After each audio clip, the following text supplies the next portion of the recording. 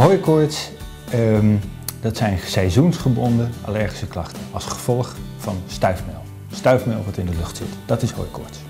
En mensen met astma die hebben klachten van de luchtwegen. Die worden benauwd, zo nu en dan. Sommige mensen wat vaker, sommige mensen wat minder vaak. Soms mensen maar één keer per jaar. Hè? Maar toch worden ze benauwd doordat ze klachten hebben van de luchtwegen. Dat is astma.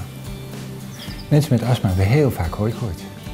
En andersom is het ook wel een beetje waar. Heel veel mensen met hooikoorts, of heel veel, ongeveer 20% van de mensen met hooikoorts heeft ook astma. Dus die twee ziektebeelden hebben met elkaar te maken. Zij het dat um, hooikoorts veel vaker voorkomt dan astma.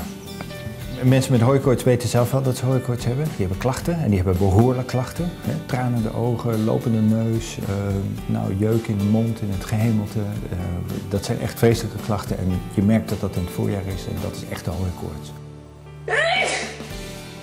Als mensen met astma ook hooikoorts hebben, dan is het voor hen heel belangrijk om die luchtjes, omstandigheden te vermijden waardoor die hooikoorts opkomt. Dus mensen met astma en hooikoorts moeten vooral voorkomen dat ze uh, heel veel uh, stuifmeel tegenkomen. Bijvoorbeeld uh, buiten in de tuin of binnen bloemen in huis. Dat soort dingen moeten ze proberen te vermijden.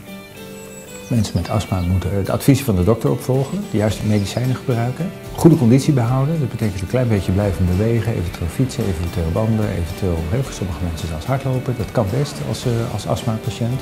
En uh, uiteindelijk ook uh, gewoon gezond eten. Mensen met astma moeten nooit gaan roken.